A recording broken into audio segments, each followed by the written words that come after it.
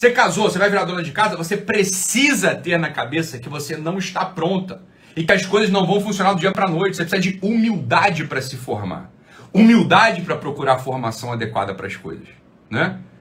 Humildade para você fazer os cursos importantes da área. Humildade para você ouvir quem sabe mais. Humildade para você buscar ajuda, para você declarar que você ainda não consegue fazer aquilo que você achou que era fácil fazer. Mas é muito fácil administrar uma casa, mas é muito fácil tocar um consultório, mas é muito fácil abrir uma agência de marketing, sei lá. Falou, não é. Não é. E você tem que olhar para as pessoas que conseguiram com uma certa humildade e reverência. Se você não olhar com humildade e reverência para as pessoas que estão prosperando, né? Você nunca, nunca vai chegar lá. Nunca vai chegar lá. Nunca. Porque eu vou te dizer uma coisa, olha só. Para você prosperar em qualquer coisa, escuta o que eu vou falar. Para você prosperar em qualquer coisa, é necessário você reunir diversas habilidades, diversas habilidades que não tem nada a ver umas com as outras. Não são da mesma área. Você pode ser um grande, um grandíssimo de um inscrito. Você escreve muito bem.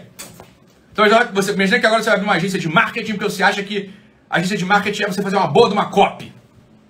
Né? Então você escreve muito bem. Tenta, cara. Tenta aí.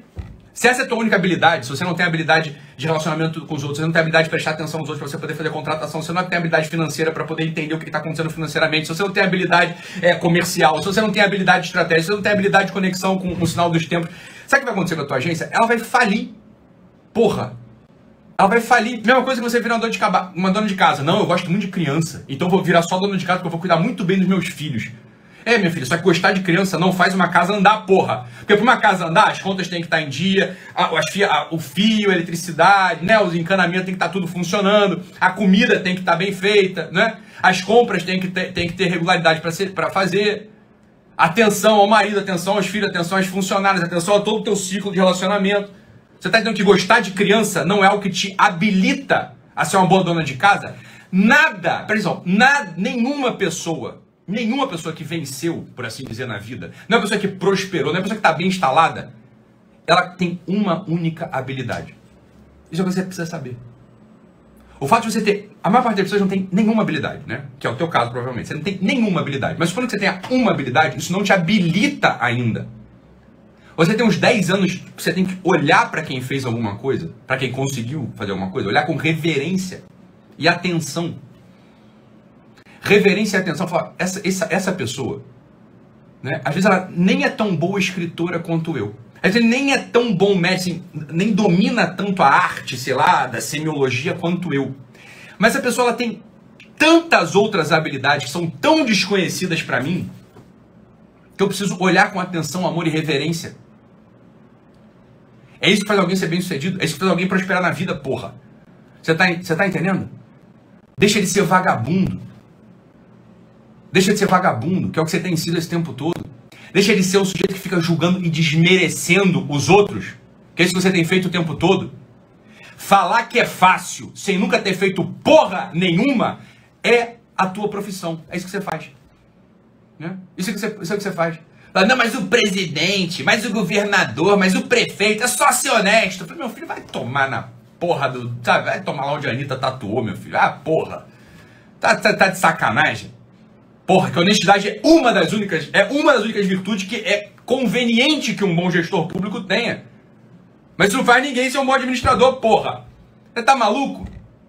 Né? Tá maluco? Óbvio que não. Então olha só, se você, olha atenção. Se você tá querendo levar a vida a sério, se você não quer levar a vida a sério, não tô aqui pra você. Vai pra porra, entendeu? Vai pra puta, entendeu? Vai. Não quero falar, não quero falar com você que quer levar a vida a sério. Você que está olhando as pessoas que estão que fazendo alguma coisa relevante. Então assim, caralho, eu queria, eu queria, eu queria, eu queria também fazer uma coisa relevante. Eu queria ser uma pessoa que, porra, faz diferença na vida dos outros. Eu queria ser uma pessoa que faz diferença na vida da minha família, portanto ganha dinheiro para poder dar as coisas boas pro meu filho, pra minha mulher. Eu queria ser essa pessoa. Bem, então deixa com, com você eu posso falar. Com esse vagabundo eu não tenho que conversar. Não tem conversa com esse vagabundo. Com esse vagabundo, assim, ó, essa live não é pra esse vagabundo. Essa live pode ser pra você. Então a questão é a seguinte, você cala a boca. É o conselho de irmão. Conselho de irmão, foi o que eu fiz. Você cala a boca, olha para quem sabe, olha para quem fez. E não começa assim, ah, mas é fácil. Ah, mas também se eu tivesse nascido como ele nasceu. Ah, mas também se eu tivesse. Não tem essa porra. Provavelmente a pessoa, a pessoa que prosperou, ela reuniu, ela conseguiu reunir uma série de elementos divergentes, uma série de elementos divergentes na sua própria personalidade, tá? E articulou esses elementos divergentes dentro dela e fez com que cada um rendesse elementos da convivência, elementos da atenção, elementos da generosidade, elementos da competência técnica, elementos muitas vezes da, da própria tenacidade espiritual, do vigor interior, você tá entendendo? Então não é, não olha só, olha. O fato de você fazer um curso de desenvolvimento pessoal, você sair de lá energizado, você sair de lá animado, você sair de lá empolgado, você sair de lá motivado. Presta atenção. Motivação é um dos elementos, um dos elementos até remotamente distantes, mas assim, importante sob certo aspecto para algum negócio prosperar. A maior parte dos negócios não prospera com motivação, porra. Sabe quantas vezes eu acordei na minha vida desmotivado para atender no consultório? Talvez 80%. Porque eu sou uma pessoa que tem sono de manhã. Eu não consigo encontrar motivação, aquela motivação energética do uou, acordei para vencer, eu sou, né, eu sou, eu comi um sucrilhos Kellogg's, agora eu sou um tigre, eu vou vencer na vida. Eu não sou assim de manhã. De manhã assim eu acordo porque não tem jeito. Sabe quantas vezes eu fui para o consultório com motivação? Talvez 20% das vezes. Talvez eu tenha sido o médico mais jovem clínico a prosperar no Rio de Janeiro bem. Eu já te falei quanto é que o meu consultório médico era um clínico, não era um cirurgião, então não tem procedimento. O meu consultório clínico, com dois anos, com dois anos, dois anos de terminada residência, estava tirando, tava tirando 150 mil por mês no consultório. Isso lá atrás. Sabe quanto de motivação, essa motivação que vocês vão buscar nesses cursos motivacionais? Ah! Sabe quanto, quanto de motivação eu tinha para fazer aquilo? Sei lá, 20% das vezes eu tinha motiva alguma motivação. A maior parte das vezes eu tinha sono. Sono.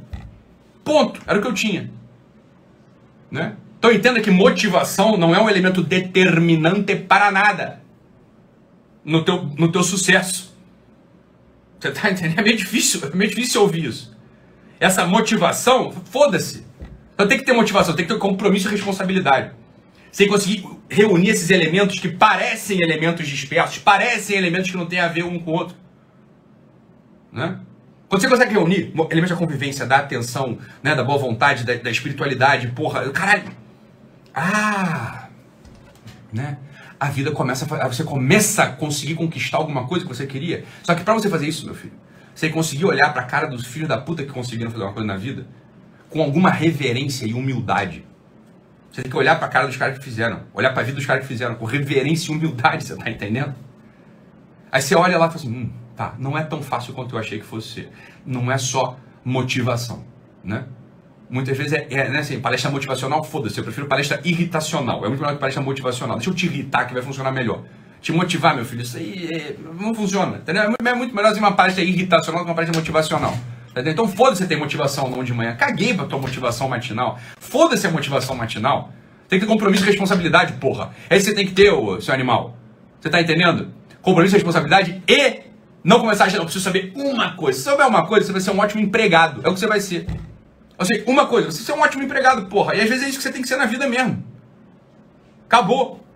Às vezes é muito bom mesmo. Ah, não, eu sei que deu uma coisa muito bem, não quero fazer, fazer várias, Ítalo. Ah, que legal. Então você vai, vai oferecer seu serviço para alguém que consiga gerenciar múltiplos talentos. Entender e gerenciar múltiplos talentos. Porra, é simples, né? Não é tão difícil de entender isso. Então o problema é esse, é o pessoal começar a querer desejar uma instalação na vida que não, que não é própria dele, que ele não tem atenção, não tem disciplina, não tem disciplina, não quer. Né? Porra, coisa mais simples.